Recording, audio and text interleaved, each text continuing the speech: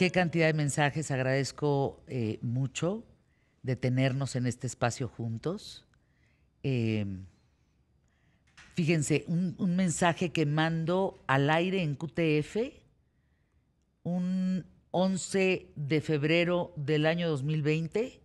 La OMS bautiza oficialmente al nuevo coronavirus que enfermó a más de 42 mil personas en China como COVID-19. Wikichava, qué gusto saludarte. Pablo Ruz Salmones, gracias por estar aquí. ¿Qué reflexión tienen? ¿Qué, qué podrían compartir con, compartir con nosotros aquí en ¿Qué tal, Fernanda?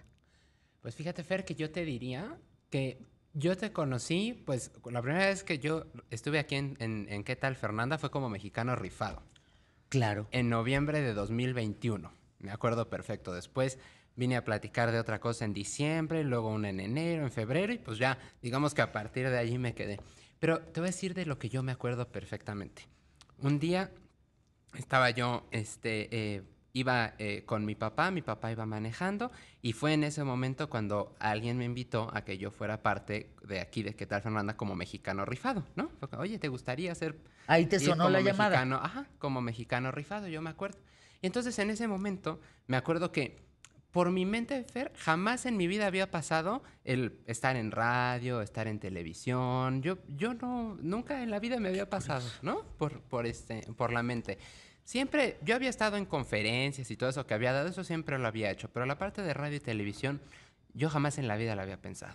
Y entonces de pronto, pues dije, pues sí, claro que sí, ¿no? Entonces, pues yo me acuerdo que en ese momento dije, ¿sabes qué? Para poder hacer un buen papel, pues tengo que ponerme a escuchar el programa, tengo que ponerme a leer, tengo que ponerme a hacer muchas cosas, porque dije, tengo que saber exactamente qué voy a hacer y cómo lo voy a hacer, ¿no? Entonces, me acuerdo perfecto en ese momento y que le dije a mi papá, le dije, oye, pa, ¿y tú conoces a Fernanda Familiar? Y me dijo, sí, sí, la he escuchado, claro que sí. Le dije, pues es que me acaban de decir que si voy al programa, no sé qué. Y me dijo, sí, pues estaría padrísimo, no sé qué. Y bueno, Fer, yo me la pasé tan increíble esa vez que estuve como mexicano rifado, ¿no? Y luego la siguiente vez que vine a platicar contigo y la siguiente y la siguiente, dije, esto está padrísimo. Está padrísimo. y yo nunca me lo había imaginado. Está padrísimo. Fer. Está increíble. Es que sí es padrísimo. Sí es pa- bueno, yo quisiera que todos vinieran al estudio. Todo el público viniera a visitarlos.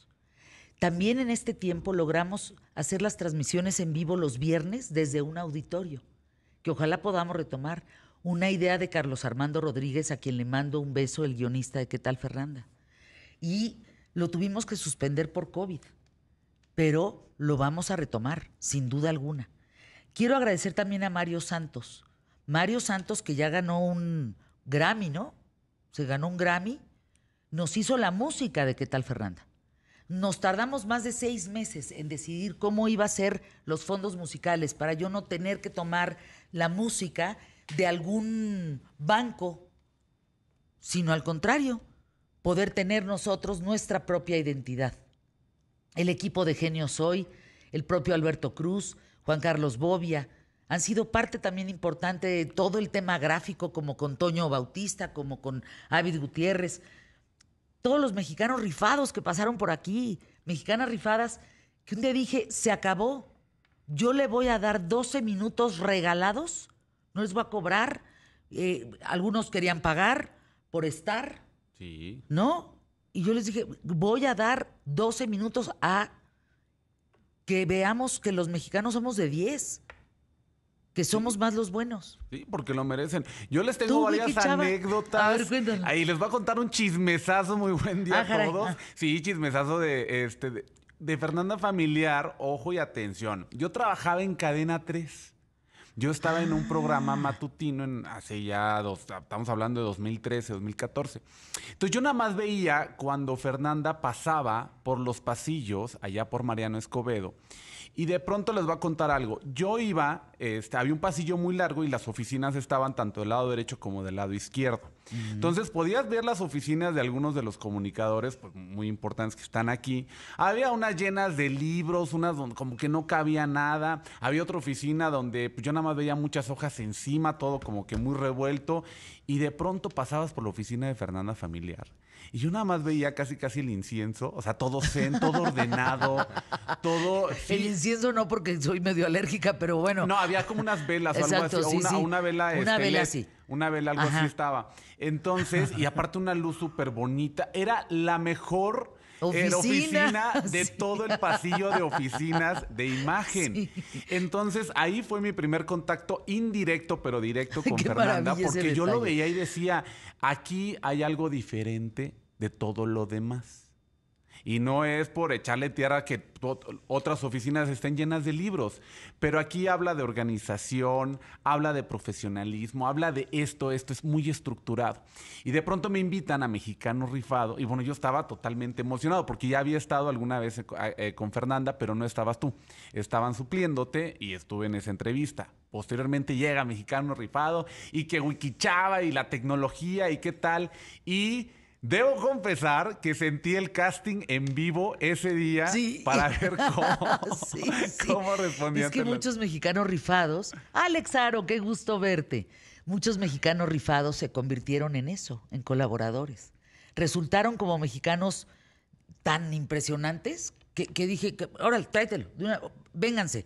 Oscar Valdés también fue mexicano rifado. Sí. Y quiero recordar que por la información que Oscar Valdés dio por algunos años en este espacio, hoy Oscar Valdés está en la cárcel. Le imputaron cosas que no sabemos, no tuvimos más información después, no nos quisieron eh, pues ni siquiera dar acceso a poder hablar con él y está en la cárcel.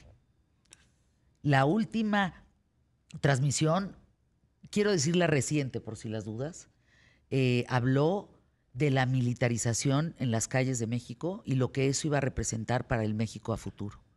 Y fue tan devastador que el miércoles lo detuvieron. Imagínate. Grandes colaboradores, ¿eh? gente de veras bien, bien rifada, bien rifada. Y es que, ¿sabes qué, Fer? Que yo creo que algo que yo siempre, a mí me ha fascinado siempre de qué tal Fernanda, de, de este espacio y de la manera en la que tú llevas este, todo este programa y este espacio, es esa libertad de platicar de muchísimos temas, Ay, sí, Fer. Porque sí. además... ¿Sabes qué? Es algo, eh, tú me conoces, a mí me gusta platicar de todo, me gusta platicar de tecnología, de música, de ética, de medio ambiente, hemos platicado de historia, hemos platicado de casi todo, Fer. Y eso no se encuentra No. en ningún lado. Además con, con vaya, con conocimiento. Sí, claro. ¿no? Lo que hablábamos también, la cantidad de becarios que han aprendido aquí, que empezaron a servir café y hoy son directivos de, de empresas, hoy son contratados como brazos derechos de CEOs, gente que pasó aquí que ganaba mil pesos, dos mil pesos, con un nivel de entendimiento de la comunicación, de la producción, que resultaron gente que se logró insertar en, ámbitos de trabajo hoy importantes. Me encontré hace rato a Pepe Molina en el elevador, le dije, gracias Pepe, gracias, porque la parte de ventas y yo, todo ese equipazo de ventas que tiene Pepe Molina, a todos les mando un abrazo para no mencionar a ninguno y que no se me sientan. Eh, Pepe y yo, pues tenemos que, lidiar él entre las ventas y yo a- en- en los contenidos. Y él pelea su parte y yo la mía. Y mira, nos damos unos agarrones, pero siempre con un enorme respeto, enorme respeto. Hay mucho que compartir, ¿verdad, Wiki? Adicional, todas las etapas por las que ha pasado estos 23 años, la humanidad misma, no nada más con las noticias, sino las transformaciones tecnológicas, eh, qué pasó con radio, cómo se han diversificado los contenidos, cómo también eh, tanto Fernanda como todo el equipo, pues nos hemos tenido que adaptar a muchas de las cosas que han, este, que han surgido, ¿no? Que si llega TikTok, pues corre ahora esta plataforma y están conectando con un nuevo público. Yo le quiero preguntar aquí a Pablo, ¿cuántos años tenías en el año 2000? en el año 2000 tenía tres wiki. Yo nací en el 96, tres, cuatro años ¿Qué tenía. can- ¿Tú cuántos tenías? No, ya, ya tenía como 15. ¿15 años? Ya, ya tenía 15 años. A ver, réstenle yo que tenía en el 2000. Tengo 56 o... Es que, a ver, 1967 a la fecha. 37. ¿50 y cuántos años? ¿Tengo 55 o 56? No, más bien le restamos. Los... Voy a cumplir 56. El 6 de junio, por cierto, se aceptan regalos de Tiffany, gracias. Ah, también eres de junio, claro. Sí, claro. Pero fíjense, ¿y entonces cuántos años ¿Treinta y tenía? tantos? Estabas en los- 32, Sí, 31, como 32, 30. 33, Fer, claro. Porque sí fue en el 67, 33. 97, ¿Por qué 30 chingados más empezamos a tres. hacer cuentas, eh? Perdón, yo nada, más, yo nada más quería poner la referencia a las generaciones. ¿Por? ¿eh? O sea, bueno, por anuncios QTF. Escúchenle.